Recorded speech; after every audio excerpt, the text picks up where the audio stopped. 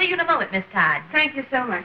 Now remember, Patsy, an air hostess is always on her dignity, the customer is always right, and service with a smile. Did you get what I said? I've been getting it every night for a week. The customer is always right. You've got to be all on your right, dignity. all right, all right. Just see that you remember it.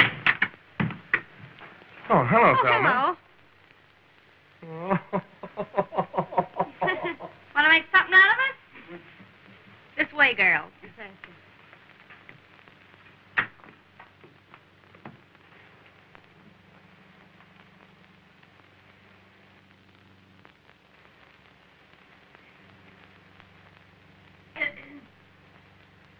Ah, Miss Todd.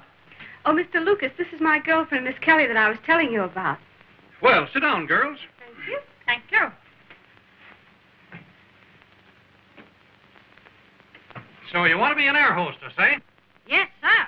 Beyond your dignity, the customer is always right, and service with a smile. she certainly knows the rules. Yes. Well, you can thank her. She kept me up four nights.